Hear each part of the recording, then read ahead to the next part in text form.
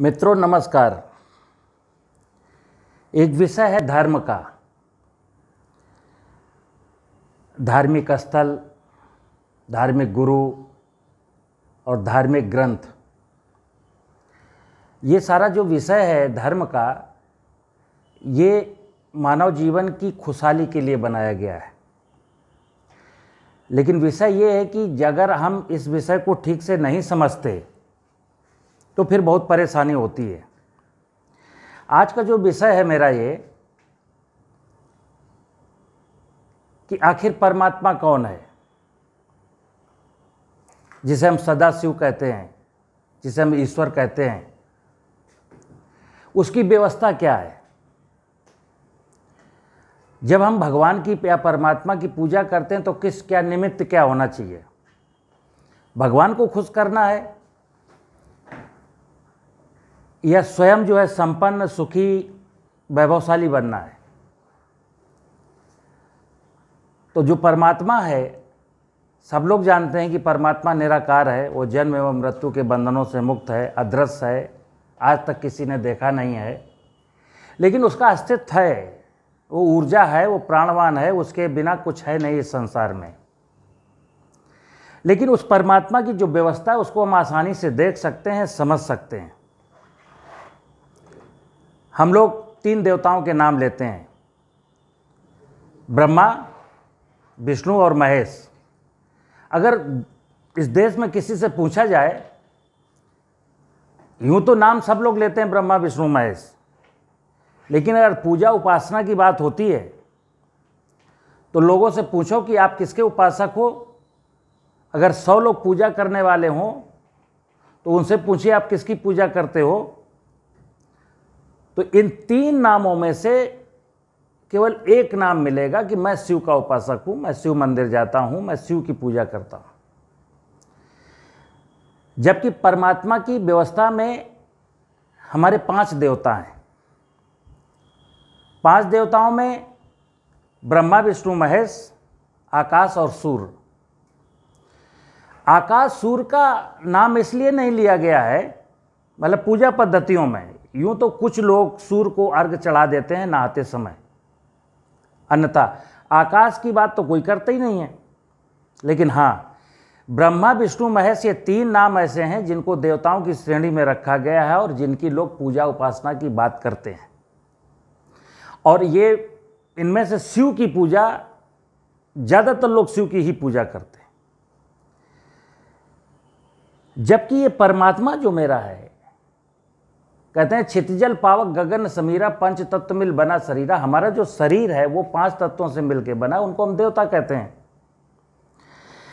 तो विज्ञान के जानकार लोग कहते हैं कि किसी भी विषय के क्रमबद्ध ज्ञान को विज्ञान कहते हैं तो ये दर्शन और आध्यात्म के विषय भी जो हैं, वो क्रमबद्ध ज्ञान के ही हैं।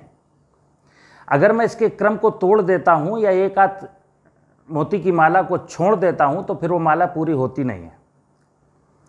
तो आज का जो विषय है कि हम धार्मिक स्थलों पर क्यों जाते हैं, धर्म का ग्रंथ क्यों पढ़ते हैं और धार्मिक जो हमारे पुरुष हैं या धर्म के ठेकेदार हैं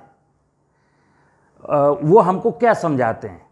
हम क्या समझना चाहते हैं और कोई क्या समझाता है? और सारे लोग धार्मिक होने के बाद, भगवान की पूजा करने के बाद भी दुखी क्यों हैं? तो ये जो परमात्मा का विषय है, जो देवताओं का विषय है, ये हमको सुख, शांति, समृद्धि और वैभव देने वाला है।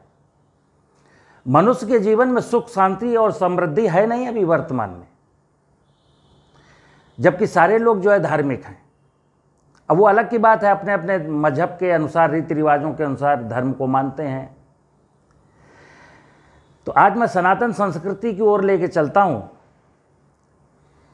जो हमारे वेद, पुराण, उपनिषद हैं, बहुत सारे ग्रंथ उनकी रचना के पीछे का मकसद सिर्फ़ एक है कि ये मनुष्य जो चौरासी लाख योनियों में जो परमात्मा की सबसे सुंदर और अंतिम रचना है, वो स्वयं कैसे सुखी, शांति और समृद्धि रहे उसके जीवन में, और ये प्रकृति का वैभव निरंतर कैसे कायम रहे, उद्देश्य केवल इतना है कि परमात्मा रोज रोज जन्म नहीं लेता। परमात्मा के अवतार जिनको हम कहते हैं अवतार राम है, कृष्ण है, ऐसे अवतार रोज रोज नहीं आते हैं। और चौरासी लाख योनियों में जो मनुष्य योनि की रचना है, वो परमात्मा की ही सब अवतार हैं। तो मैं ये क्यों भूल जाता हूँ कि मैं भी परमात्मा की अवतार हूँ? तो हमें समझना क्या है, समाज को एकजुट रखने के लिए, इस प्रकृति के वैभव को निरंतर सजाए रखने के लिए मुझे इन तीन देवताओं को समझना है। तो देखिए, ब्रह्मा विष्णु और महेश। सूर्य निरंतर है, इतना ऊंचाई पर है कि मनुष्य चाह करके भी ना इसका कुछ बना बिगाड़ नहीं सकता है। मतलब सूर्य के अस्तित्व को ना मैं बिगाड़ सकता हूँ, ना मैं बना सकता हूँ। इसलिए सूर्य को थोड़ा अलग रखा गया है। और फिर जो आकाश है, धरती से लेकर सूरज और चाँद के उस पार तक आकाश निरंतर है, इसका भी मैं कुछ बना बिगाड़ नहीं सकता हूँ। तो केवल इतना समझना है कि पाँच देवताओं में तीन देवताओं की महिमा क्यों गाई गई है? जो तीन देवता हैं, ब्रह्मा। ब्रह्मा का मतलब मित्र वायुमंडल से। इस भूमंडल के ऊपर का जो हिस्सा है, वायुमंडल जिसको कहते हैं, जहाँ तक हमारा वायु क्षेत्र है, ऑक्सीजन मिलती है, जहाँ पर बादल रहते हैं, ये वायुमंडल है। ब्रह्मा का अगर स्वरूप देखना है तो हमारा धरती के ऊपर का जो वायुमंडल है, जिसको हम जलवायु कहते हैं जलवायु का क्षेत्र जो है वो ब्रह्मा जी का एक प्रतीक है। जब विष्णु की बात करते हैं तो विष्णु का मतलब होता है सागर, क्षीर सागर में रहते हैं। और जब शिव की बात करते हैं तो शिव का मतलब है पृथ्वी या भूमि। अब इनके जरा तीन देवताओं का आपस में आप देख लो। तीन देवता या पाँच देवताओं का आपस में तारतम्य देख लो तो आपको समझ में आ जाएगा। कहते हैं कहानियाँ हैं पुराणों में कि ब्रह्मा जी शिव का चरण विष्णु भगवान के चरण पखारते हैं। और विष्णु भगवान का चरण पखार करके उस पानी को अपने कमंडल में भर लेते हैं। और जब शिव को प्यास लगती है, धरती को तो संपूर्ण धरती पर वो बारिश करते हैं। अब अगर ब्रह्मा जी को मैं ऐसे देखता हूँ कि ब्रह्मा जी कोई व्यक्ति है, उसके हाथ में एक कमंडल है, और विष्णु को अगर ऐसे देखता हूँ कि क्षीर सागर में नाग की पिंडी पर लेटे हुए हैं, उनके छोटे छोटे चरण हैं, और वो एक लोटे से दो लोटे से उनके चरण को ब्रह्मा जी ने पखारा और वो पानी उनका अपने पीतल के कमंडल में भर लिया तो उस कमंडल से तो इस विशाल धरती की प्यास नहीं बुझाई जा सकती। तो ये तारतम हमको जोड़ना है कि ब्रह्मा जी ने विष्णु के चरण पखारे, यानी समुद्र के चरण पखारे, समुद्र का पानी इवेपोरेट हुआ और बादलों में जाकर के रुक गया। ये जो बादल हैं, ये ब्रह्मा जी का कमंडल है। और जब ज़रूरत होती है, जब शिव को प्यास लगती है तो ब्रह्मा जी यानी बादल बरसते हैं और शिव की प्यास बुझ जाती है। अब हम केवल शिव के उपासक हैं। और शिव के उस स्वरूप के उपासक हैं जो शिव का वास्तविक स्वरूप है ही नहीं। शिव के काल्पनिक स्वरूपों का मैं उपासक हूँ। तो जो शिव का काल्पनिक स्वरूप है या कैलेंडर में है या शिवलिंग के रूप में मैं उसकी पूजा करता रहता हूँ। जबकि ये जो भूमंडल या ब्रह्मांड की जो व्यवस्था है, जहाँ पर बादल हैं, जहाँ पर जो समुद्र का हिस्सा है, जो भूमंडल है या जो भूमि है, उसको मैं बिल्कुल कंसीडर नहीं करता हूँ। आज इतनी आबादी में जो लोगों के बीच में मारा मारी है, हाहाकार है, लड़ाई झगड़ा है, उसकी वजह सिर्फ़ एक है कि हम इस पूरे तारतम्य को एक सूत्र में पिरो करके नहीं जोड़ते हैं। तो देखिए कि ब्रह्मा, विष्णु और शिव, हमें तीनों देवताओं की पूजा करनी। और पूजा का मतलब दोनों चीज़ें हम यूँ मान लें कि इनकी पूजा करके, करेंगे तो ये मेरे ऊपर आशीर्वाद बरसाएँगे। या मैं इनको खुश करूँगा तो इनका जो स्वरूप है वो सुंदर बना रहेगा। ये कोई व्यक्ति नहीं है कि इनकी मैं पूजा करके, ध्यान साधना में बैठ करके और इनकी माला जप करके, इनको फूल बत्ती, अगरबत्ती, धूप बत्ती जला करके और इनको फल मिष्ठान चढ़ा करके ये प्रसन्न हो जाएँगे। ऐसा कुछ भी नहीं है। और वर्तमान में यही हो रहा है। कि मैं किसी भगवान की मूर्ति को सामने रख करके उसके सामने फल रखता हूँ मिष्टान रखता हूँ, धूप बत्ती जलाता हूँ, सुपारी रखता हूँ, पान रखता हूँ, अगरबत्ती जलाता हूँ। और मैं कहता हूँ कि आज की पूजा मेरी बहुत अच्छे से निपट गई और मुझे बड़ी खुशी है। ये खुशी क्षणिक है आपके मन में। ये खुशी टिकती नहीं है। क्योंकि ये जो आपने की है पूजा, ये प्रतीक पूजा है परमात्मा की। जो साकार पूजा है, जो वास्तविक पूजा है, उसका मतलब क्या है? कि मनुष्य, चूँकि मैंने बताया कि मनुष्य परमात्मा की सबसे सुंदर और अंतिम रचना है, मनुष्य इस भूमंडल पर माली की भांति है और माली की ड्यूटी बनती है। कि इस भूमंडल पर जितनी भी परमात्मा की व्यवस्था है, माया है, उसको संजो करके, संवार करके रखे। उत्तरोत्तर और अगर सजा सकता हो तो सजाए। ना सजा सकता हो तो कम से कम बिगाड़े ना। वर्तमान में क्या है? करोड़ों लोग भगवान शिव के उपासक हैं, भगवान की परमात्मा की पूजा में मग्न हैं। लेकिन ये जो भगवान का, जो परमात्मा का जो सेकेंडरी स्वरूप है मतलब ये परमात्मा की व्यवस्था है, ब्रह्मा, विष्णु, महेश, आकाश और सूर्य ये हमको दिखता है। वो परमात्मा जिसने इनकी रचना की वो नहीं दिखता, वो कभी दिखेगा भी नहीं। लेकिन उसकी जो व्यवस्था है वो मेरी नज़रों के सामने है। उसी व्यवस्था में मैं अपना जीवन जीता हूँ।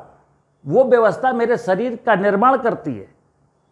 वो व्यवस्था मेरे शरीर का पालन पोषण करती है।